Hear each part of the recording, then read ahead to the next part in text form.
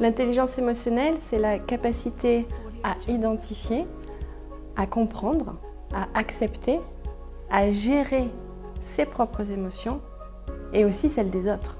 Avec une intelligence émotionnelle développée, vous saurez guider vos pensées et vos actions, quelles que soient les circonstances extérieures. En entreprise, il est évident que les diplômes, les compétences techniques et l'expérience sont indispensables. C'est le savoir-faire. Mais cela ne suffit plus. Aujourd'hui, il est indispensable de développer le savoir-être.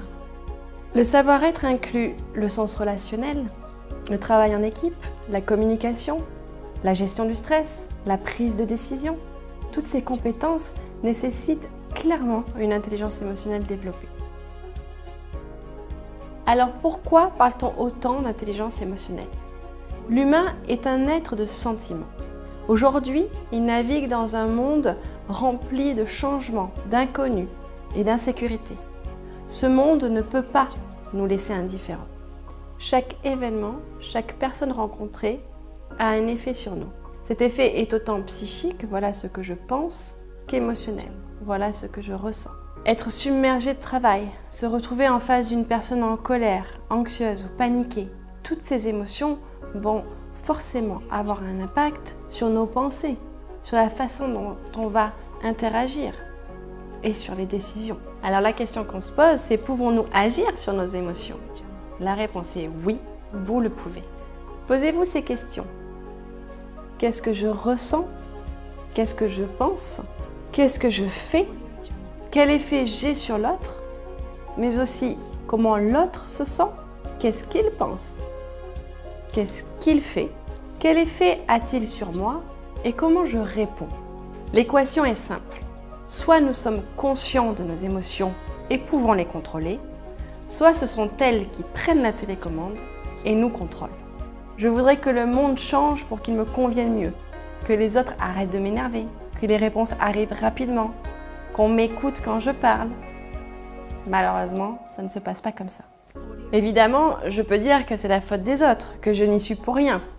Je peux les blâmer, les maudire, mais ça ne changera rien. La seule personne sur laquelle je peux agir, que je peux changer, c'est bien moi-même. Regardez ce mail. Bonjour, peut-on se voir lundi à 14h Bon week-end. Ce ne sont que des mots, rien de plus. Imaginez ce mail qui passe par différents filtres. Comment le message va-t-il être reçu? La réalité, un mail envoyé le vendredi en fin de journée va passer par autant de filtres que de personnes. Chacun va recevoir le message selon son vécu, sa confiance en soi, la nature de sa relation avec l'émetteur. Le terrain émotionnel n'est pas le même. Mais la bonne nouvelle, c'est qu'on peut le travailler pour le rendre plus fertile et plus productif. On arrive maintenant à la troisième partie, qui est certainement la plus importante, comment développer son intelligence émotionnelle? Le point de départ de tout développement, c'est de dresser un diagnostic précis et objectif de votre fonctionnement émotionnel. Vous voyez à l'écran la roue de l'intelligence émotionnelle.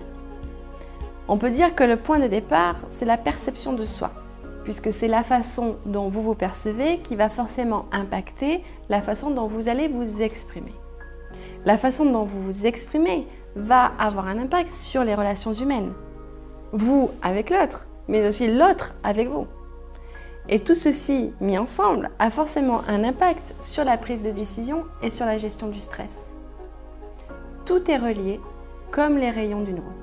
Grâce à l'EQI, un diagnostic puissant, vous obtiendrez un état des lieux de votre fonctionnement émotionnel, vos forces et vos champs de développement. À partir de là, vous pourrez rentrer dans un parcours pour renforcer vos compétences. À la clé, bien-être, relations et performance. À bientôt!